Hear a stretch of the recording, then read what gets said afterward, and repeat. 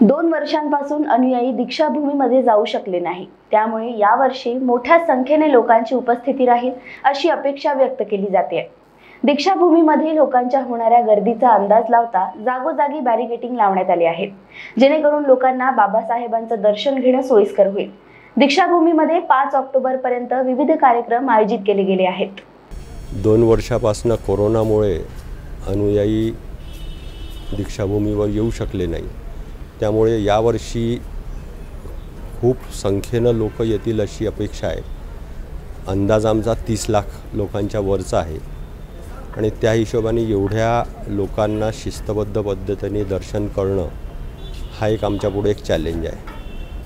पण जी रेलिंग आणि बॅरॅकेडिंग आम्ही केलेले आहेत त्यामुळं त्या भाविकांना अनुयायांना बाबासाहेबांचं दर्शन घेणं हे सोयीस्कर होईल. तीन चार दिवसाचे कार्यक्रम आहेत. कालचा एक महिला परिषदेचा कार्यक्रम झाला. आजपासून पूज्य भंते आर्य नागार्जुन सुरई ससाई हे लोकांना धम्मदीक्षा प्रदान करतात. हा कार्यक्रम तीन दिवस चालेल. उद्या सकाळी नऊ वाजता म्हणजे चार तारखेला पंचशील ध्वजारोहण होईल. त्याला समता सैनिक दलाचे सैनिक मानवंदना देतील. संध्याकाळी चार वाजता आंतरराष्ट्रीय धम्म परिषद होईल. त्यामध्ये थायलंड जापान मलेशिया श्रीलंका इथून बौद्ध भिक्खू आणि बौद्ध विचारवंत येऊन आपले विचार मांडतील.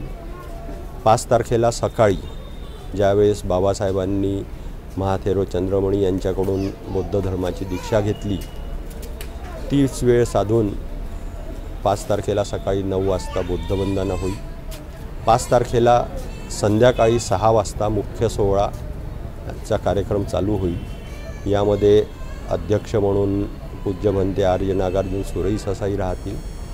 केंद्रीय मंत्री माननीय नितीनजी गडकरी माननीय रामदासजी आठवले आणि महाराष्ट्राचे उपमुख्यमंत्री देवेंद्र फडणवीस हे राहतील. बाय सब जानना चाहते हैं। मेरा फेवरेट कलर मेरा फेवरेट डेस्टिनेशन मेरी फेवरेट डिश पर कोई ये नहीं पूछता कि फेवरेट डिश मैं बनाती कैसे हूँ। अरे यार। जिसे टेस्टी खाना पसंद है वो अच्छे टेस्ट तक पहुँच ही जाता है। सुरुचि मसाले। खाने में हो रुचि तो घर लाइए सुरुचि।